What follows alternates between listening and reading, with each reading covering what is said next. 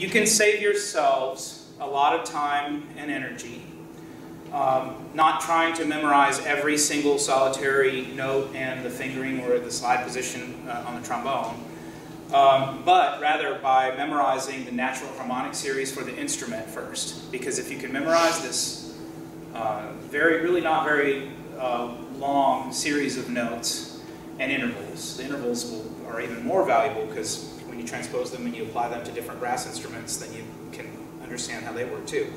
But if you can just memorize this uh, short number of, of notes and get them right and understand a principle that um, I describe as sort of a metaphor for a string instrument, then you can, I can ask you to give me uh, any note. I can say, okay, give me a G flat in the bass clef staff at the, you know, the top space of the bass clef staff. What position is that in? And you, because you know your natural harmonic series and you can count down from first position chromatically with this technology that I'm about to describe, you can tell me where that note is. And you can even maybe sometimes find alternate positions for notes this way too.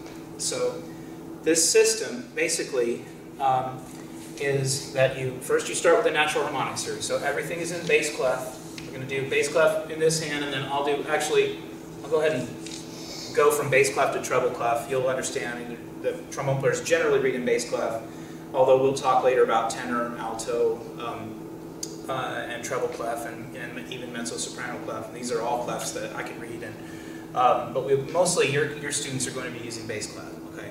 So the natural harmonic series. Does anybody know what the, the fundamental pitch in the first position of trombone is?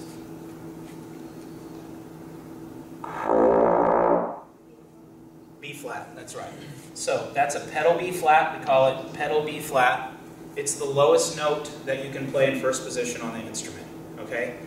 Um, don't be confused by um, fundamental pitches and overtones um, or partials. Sometimes we would talk about this as the fundamental, and then the next note above that would be the first overtone, even though it's the second available playable note. Some people talk like that, and I can't stand that because why would I call the second thing one and then call the third thing two, and then after that, I mean, I'm in this like mind game with myself trying to figure it out. So I talk in terms of partials. It's the first partial. It's the first thing that you can play, okay? Um, pedal B flat. We call it pedal B flat It's the lowest note. But you can just call it B flat. It's fine. Okay, what's the next note above that that's available on the instrument? Anybody know?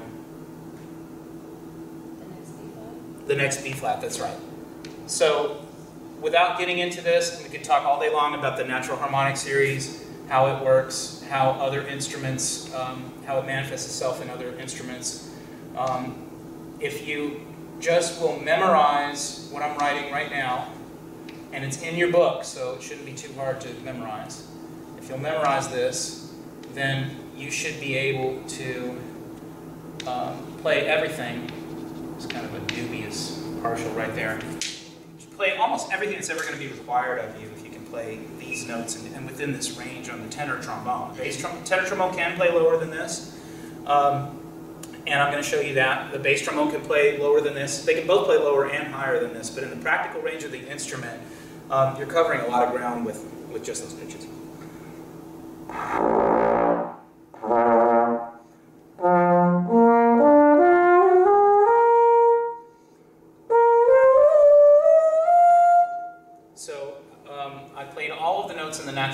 Series in first position on the trombone, okay? Um, brass instruments all sort of work like a bugle in that this is available and pretty much only this. So bugles don't have keys, they're not usually, most of them are not chromatic, they're just, you just have this one natural harmonic series that they can use.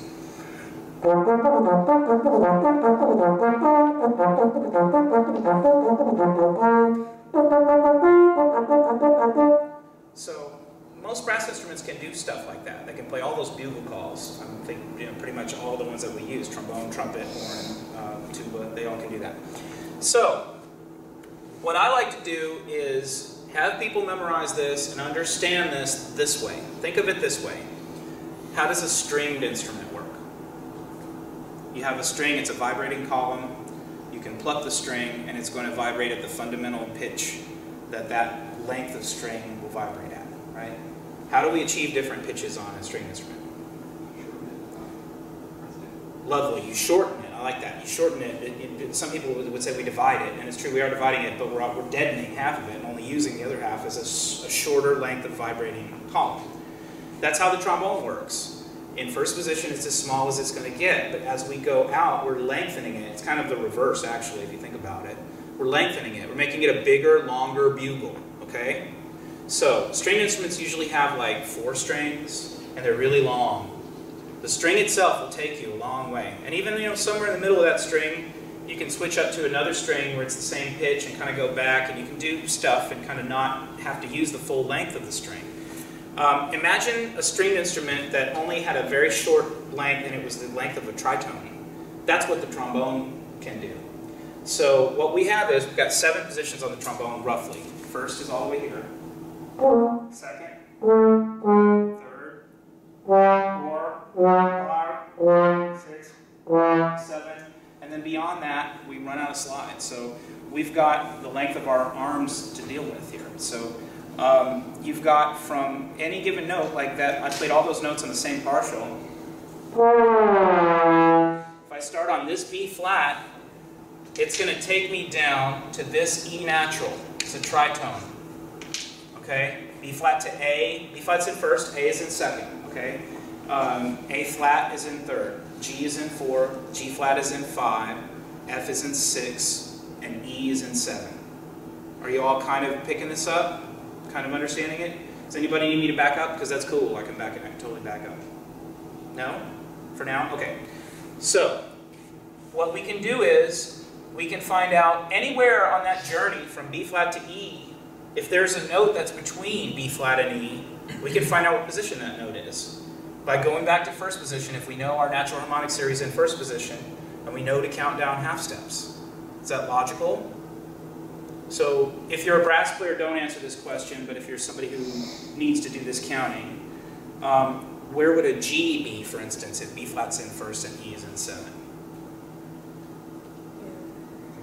Close. Start again. B flat's in first. What note's in second? A. A. What note's in third? A. Right. What note's in Four. four? Brilliant. You got it. Good. So that G that we just talked about is in fourth position. So I skipped a step. I, I, I kind of helped you by saying, okay, I gave you a hint and said it's between these two notes. The way to use this system is to at, find the note that you want and then find the next note above it in the natural harmonic series in first position.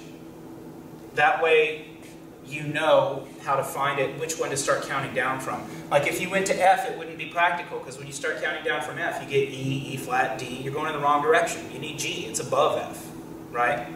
So the note you're looking for is going to be below a first position note, unless it is a first position note, right?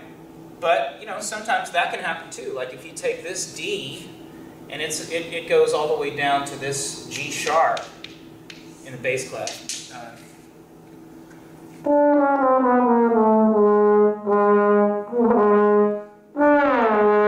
Okay, from this D down to this G sharp, there actually is a B flat that's not in first position. There's one in five.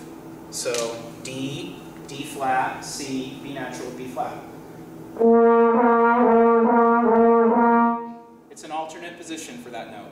It's not our favorite position that we would use on any given day if we didn't have to, but it's a great note. It's a lovely note. If you're out there and you're playing something in G flat, you know, it's nice. I'm gonna definitely, I'm gonna do that instead of, it's way harder to do it that way, okay? Um, does this make sense? Okay, what if I wanted you to tell me where um, a low G, an octave lower than that G is? So that would be this G.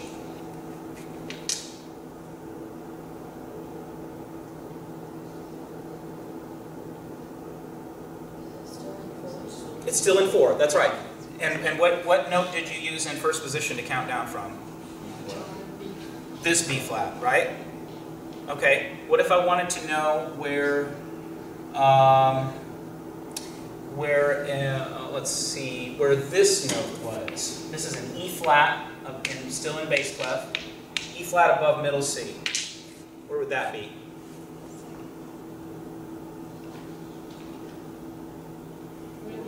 Brass players are like, Would it be third? Yeah, right. What note did you use in first position to find it? The F? The F, right, good. Are we all figuring this out, kind of? Okay, if anybody's scratching their heads, that's fine. You can email me or call me or we can talk about it later. It's cool, I get it. If you get off on the wrong thing and you're thinking, and everybody is, you know, moving on, sometimes it can be sort of embarrassing to raise your hand. That's why I'm taking this, because I was hoping maybe I could uh, distill it down to the finer points and like maybe, you know, uh, post it for you.